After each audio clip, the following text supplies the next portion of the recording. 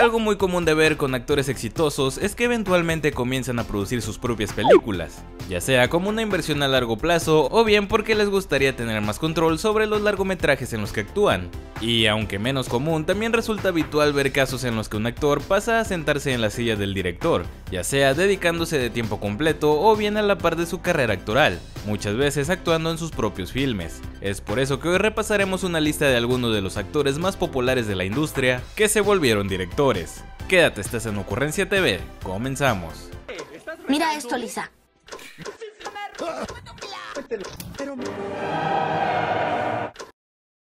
Estoy seguro que el nombre de Jonah Hill le suena a todo millennial, y es que este actor tuvo su apogeo justo a finales de los 2000 y comienzos de los 2010, siendo su personaje de Seth en Superbad el que le traería una enorme popularidad entre los adolescentes de entonces, participando posteriormente en decenas de producciones más, incluidas las actuaciones de voz en la franquicia de Cómo entrenar a tu dragón, así como en Megamente, donde interpretó a Titán. What's a Titan? Digo, cómo no darse cuenta si están igualitos. Sin embargo, su mayor oportunidad no llegaría sino hasta que Martin Scorsese le dio un papel en El Lobo de Wall Street al lado de Leonardo DiCaprio, consolidándose como un actor de gran calidad y uno de los favoritos del público. Para entonces, Hill ya se encontraba haciendo sus pininos como cineasta con títulos como The Cedar y 21 Jump Street, películas que protagonizó y produjo, aparte de coescribir esta última, trabajo que volvería a repetir en filmes futuros como La Fiesta de las Salchichas y Porque él, ambas de 2016. No obstante, su ópera prima y debut como director de cine no llegaría sino hasta el año 2018 con el estreno de Mid-90s, una película de bajo presupuesto en la que relata la historia de un niño llamado Stevie basada en su propia infancia, la cual tuvo un buen recibimiento en cuanto a críticas y taquilla considerando su presupuesto, siendo además nominada a varios premios internacionales ganando en cuatro ocasiones. Desde entonces Hill ha continuado actuando esporádicamente y dirigido algunos episodios de series y videos musicales. Actualmente se encuentra trabajando en la producción de su próxima película titulada Outcome, producida para Apple TV, la cual protagonizará junto a Ken Reeves. You know, I've wanted to be a writer, director, a filmmaker my entire life, and I kind of fell into this amazing 15 year acting career. I waited until I had something to say, and mid 90s is my heart. Hasta hace algunos años, el nombre de John Krasinski era un desconocido para la mayoría en Latinoamérica, puesto que The Office apenas explotó con la llegada de la serie a plataformas digitales, y por supuesto también en parte a los clips que se han viralizado en TikTok, elevando la popularidad del actor en el continente por los cielos, gracias a su ocurrente personaje de Jim Halpert. Y curioso resulta darse cuenta que aún para entonces el actor ya llevaba más de una década de haber debutado como director, tal como ha sucedido con muchos actores como Bryan Cranston y Christopher Masterson en Malcolm. Krasinski también tuvo la oportunidad de dirigir varios episodios de su serie, pero aún más sorprendente es saber que este no fue su primer trabajo como director, sino que un año antes, en 2009, ya había estrenado su ópera prima titulada Brief Interviews with Hideous Men, basada en una colección de cuentos cortos del mismo nombre. A la película le fue terrible en crítica y tuvo un estreno bastante limitado, por lo que ni su abuelita la vio, pero sin duda fue un enorme paso que tomaría el actor para comenzar a desarrollarse como director. Mientras John seguía en la serie, siguió buscando oportunidades tanto como director y productor, siendo su siguiente trabajo destacable el de productor ejecutivo en Manchester by the Sea, película dramática del 2016 ganadora de dos Oscar a Mejor Actor y Mejor Guión Original. Ese mismo año, Krasinski regresaría a la dirección con The Hollars, una comedia romántica donde al mismo tiempo trabajó como actor y productor, obteniendo esta vez mejores resultados en cuanto a crítica más no en taquilla. Sin embargo, su nombre como director llegaría a los ojos de medio mundo con su siguiente película, Un lugar en silencio, dando un giro de 180 grados a lo que hasta el momento se había visto de él tanto como actor y director, dando en el clavo con una película de horror que paralizó a millones de espectadores, al lado de su esposa Emily Blunt. Un lugar en silencio resultó un fenómeno mundial recaudando 20 veces el presupuesto de la misma, siendo su mayor éxito comercial hasta el momento como director, lo que por supuesto derivó en una secuela casi tan exitosa como la anterior. Tal aceptación, por supuesto, le daría a Krasinski la oportunidad de ampliar sus opciones, por lo que su siguiente proyecto fue If, una película familiar un poco más personal a la cual no le ha ido tan bien pero tampoco tan mal. En la actualidad se encuentra produciendo tres películas más, entre ellas una tercera entrega de la franquicia de Un lugar en silencio. Finished writing, and I think you're about to direct a movie called Imaginary Friends. Yes, it's called If. And it's with Podrás amar u odiar sus películas, pero una cosa es cierto, Sofía Coppola se ha sabido ganar su lugar como una directora trascendental pese a las constantes críticas de nepotismo. Y es que aparte de ser principalmente conocida por ser la hija de la leyenda Francis Ford Coppola, director de la trilogía del Padrino y otras joyitas como Apocalypse Now, Drácula y Jack, Sofía es también conocida por tener una carrera en Hollywood de toda la vida, literalmente. Y es que teniendo en cuenta que en todos los empleos te piden como 20 años de experiencia, Ford Coppola prestó a su hija siendo tan solo una bebé para que interpretara al sobrino de Michael Corleone en la primera entrega del Padrino lo que comenzaría con una tradición del director por darle papeles a su hija en la mayoría de sus películas, quien por alguna razón decidió ser acreditada como dominó y dominó Coppola en sus inicios. Coppola nunca estuvo segura de querer perseguir una carrera en la actuación, pero la idea nunca le quedó tan clara hasta que le tocó interpretar a Mari Corleone en la tercera parte del Padrino,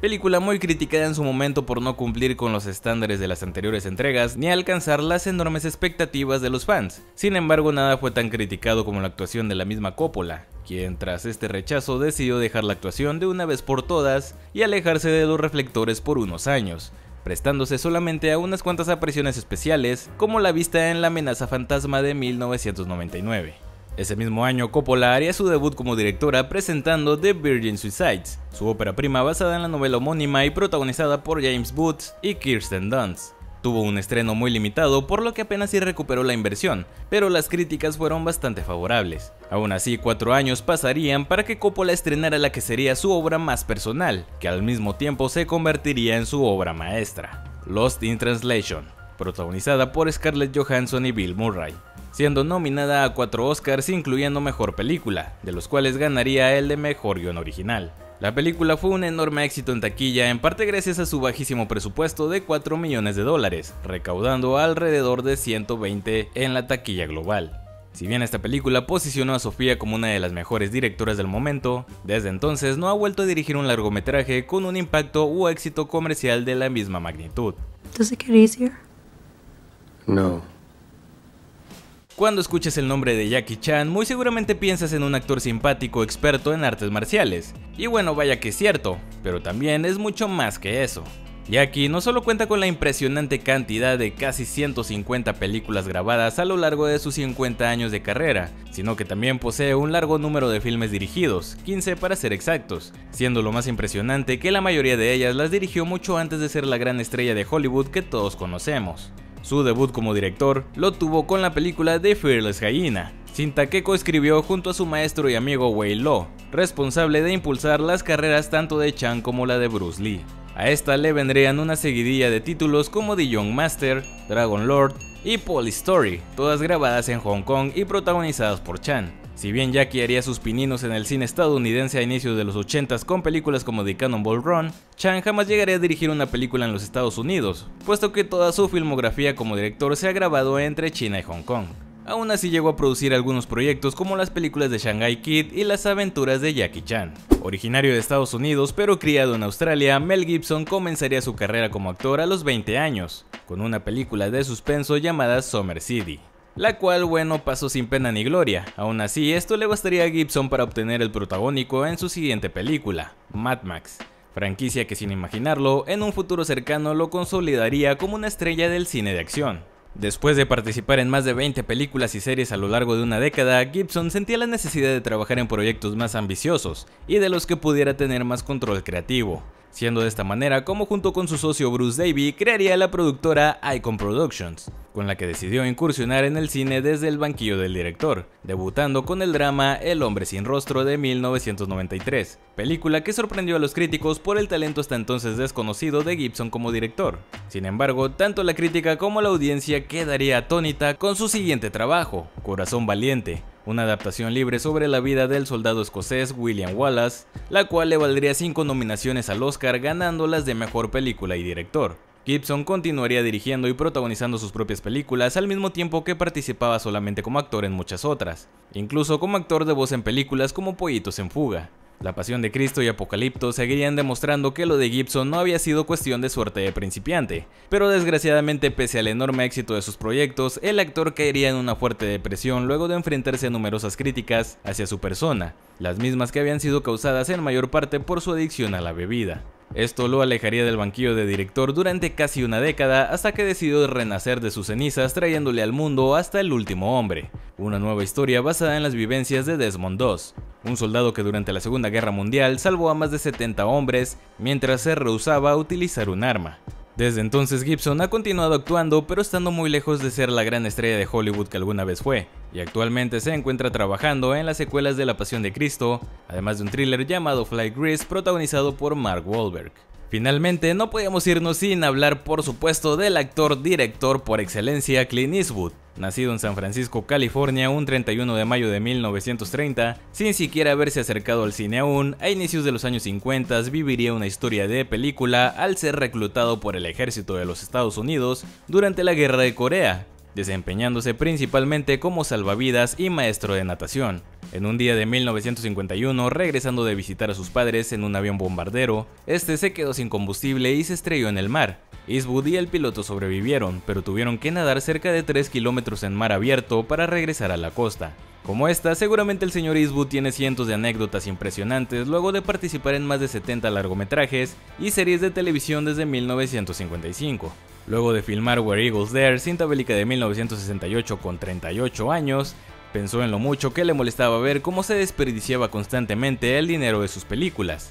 Fue entonces como tomó la decisión de crear su propia compañía cinematográfica para tener el control creativo sobre sus largometrajes. Esta nueva productora se llamaría The Malpaso Company, en parte por el famoso río Malpaso Creek que se encontraba cerca de su ubicación, pero sobre todo por su significado en español, haciendo referencia a que era una decisión arriesgada en su carrera. De esta manera Eastwood comenzaría a producir él mismo las películas que protagonizaba, con la asociación de otros estudios como Warner y Universal para la distribución, hasta que en 1971 se atrevería a dirigir su primer largometraje, Obsesión Mortal, un thriller sobre una mujer que se obsesiona a muerte con un locutor de radio. La película tendría un buen recibimiento en taquilla y crítica, por lo que sería el comienzo de una extensa trayectoria como director, siendo él mismo el protagonista de muchas de ellas. Hasta el día de hoy, Clint Eastwood ha dirigido 39 largometrajes y actuado en más de 60, siendo uno de los cineastas más prolíficos de la industria, quien incluso a sus 94 años se encuentra a punto de estrenar la que será su película número 40. Y bueno, esto ha sido todo por hoy, ocurrentes. Como siempre, espero que hayan disfrutado mucho el video y si fue así, los invito a que dejen su like, su comentario y compartan el video con todos sus amigos. Además, si no se han suscrito me ayudaría mucho que lo hicieran. Ya saben que yo soy su amigo Franco Same y nos vemos a la próxima.